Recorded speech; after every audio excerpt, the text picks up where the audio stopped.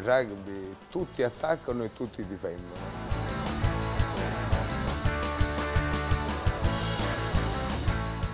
In Italia tutti difendono, partiamo da questo presupposto. No, il rugby ha un ruolo come ad esempio contrariamente al calcio, è un ruolo dove qualsiasi giocatore attacca e qualsiasi giocatore difende perché appunto la squadra non è, disposta, non è disposta nel senso della lunghezza del campo ma nel senso della larghezza, quindi eh, viene da sé che per attaccare tutti devono dare, cioè non ci sono punte, centrocampisti, il pallone non va passato in avanti, sempre indietro, quindi trasversalmente al campo quindi per avanzare tutta la squadra deve avanzare, così anche come per, per difendere.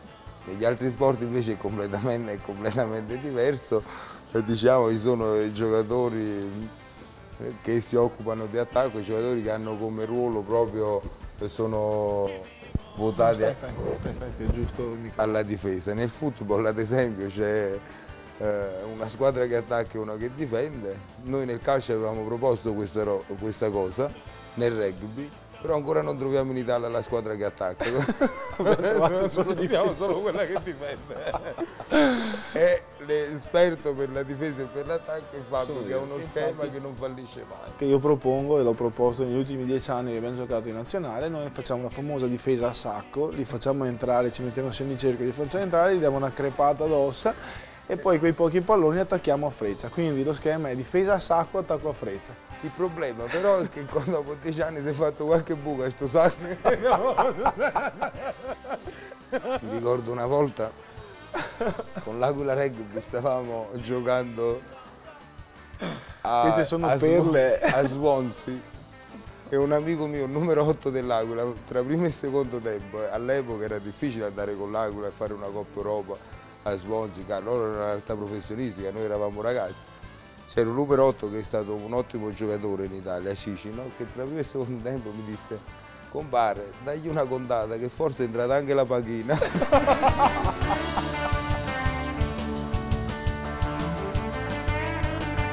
Quando si parte da una fase statica possiamo dire che i tre quarti sono gli attaccanti, in quanto prendono sta palla dalla mischia o dalla tuscia e attaccano per guadagnare questa linea di vantaggio. Il problema è che la maggior parte delle volte, che è una cosa che soprattutto quando stiamo là davanti, sai, fai una mischia chiusa, ci si alza bisogna fare un'altra mischia chiusa più in là. Noi, no. noi i tre quarti in Italia li dobbiamo ringraziare. Eh, sì. Ringraziare perché l'Italia ha avuto questa nomea di una mischia forte, perché sono i tre quarti che ci hanno allenato. Sì, facciamo cadere i palla, palla, mischia e quindi abbiamo fatto tante, tante di quelle prove. 40 a partire, una cosa... Una anche le altre realtà non erano pronte ad affrontarci perché tutte quelle mischie neanche in allenamento le facevano. Questa rivalità scherzosa tra avanti e tre quarti, noi ci sentiamo il vero motore della squadra, effettivamente lo siamo, e i tre quarti, i, i vacanzieri della squadra, soprattutto quelli nostri, sono dei disperati, madonna. no. Sto scherzando. Il rugby è uno sport dove c'è un'ampia gamma di ruoli, quindi qualsiasi fisico può essere adattato.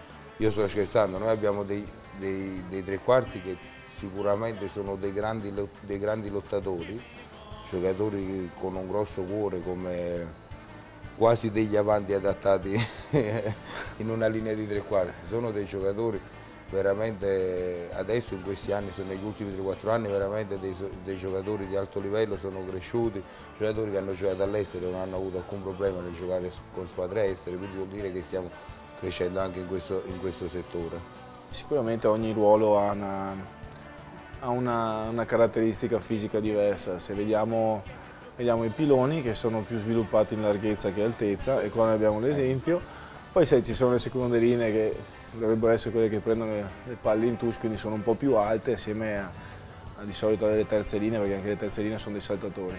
Poi ci sono la mediana e la, la mente del gioco, eh, ecco, ecco, già qua la mente del gioco. Noi ce l'abbiamo la mediana, sono veloci, scaltri, ma mente poca, vediamo Orchera, no, no però dovrebbe essere 6 Orchera è... è. No, lui è un grande. Poi adesso Lo prendiamo in giro perché siamo molto amici. Poi ci sono i centri che ormai nel rugby moderno un, centro può essere paragonato a una terza linea perché fisicamente sono del, sono centri e ali ormai non, Tu- non c'è tanta differenza. Io cosa? Secondo te avresti avuto spazio in una linea di tre quarti? Sì, con una moto al posto delle gambe. Il peso ce l'ho però. E in che ruolo ti vedresti? Beh, io primo centro. Ho giocato anche primo centro. Pensate che se mi avevamo presi talmente male, ma con Treviso in Con la Coppa squadra Italia. dell'ospedale? No, Treviso con la squadra. A Treviso aveva giocato in Coppa Italia contro il Milano, una partita, e ne mancavano i tre quarti, mi ha messo primo centro. Una roba. In Italia siamo bravi amici aiuto e ci credi, i tre quarti fanno 30 passaggi in avanti a partita, porco giù, è un continuo. pratica. Sto sempre così, porco. Il problema è che dovrebbero farci giocare in 16 a noi, perché in facciamo 16 anche 20, dai. Una ventina. Ciao Simo. Simona, ciao. Ciao, si gira. ma fai una ripresa a Simona?